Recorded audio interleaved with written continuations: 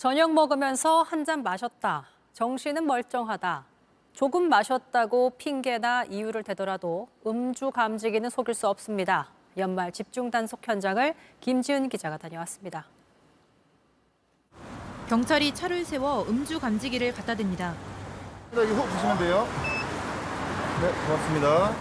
한 여성은 음주 감지기가 반응하자 밖으로 걸어 나옵니다. 그리고 물로 입을 헹군 뒤 다시 한번 경찰 지시에 따라 음주 측정기를 붑니다. 계속 후 부시면 됩니다. 풍선 불듯이 시작.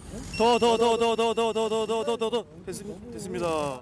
조금 마신 거라고 말해보지만 오늘 동창이 모임에 가서요. 맥주 한잔딱 마셨어요. 면허 정지 수치가 나왔습니다. 0.031 나왔습니다. 0.3면 정지 수치. 무슨 시에 저녁 먹으면 그렇게 나오는 정신은 멀쩡하다며 서울에서 충북까지 100km 넘게 운전하려던 중이었습니다. 한잔 먹고 이렇게 나와요. 잠시 뒤 이번엔 한 남성이 차에서 내립니다. 이번에도 연말 모임에서 술을 마신 운전자입니다. 술은 어떤 거 드셨을까요? 소주 몇 병 정도요? 힘껏 측정기를 불자 이번에 나온 수치는 0.17%. 면허 취소 수준입니다. 이 운전자는 만취 상태에서 강변북로를 타려던 중이었습니다.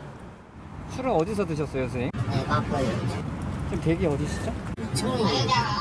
어젯밤 서울 양화대교 북단에서 1시간 반 동안 3건의 음주운전이 적발됐습니다.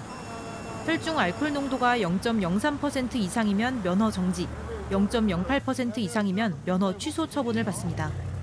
음주 자리에는 차를 가져가지 않는 게 음주운전을 예방하는 최선의 길인 거라 생각합니다.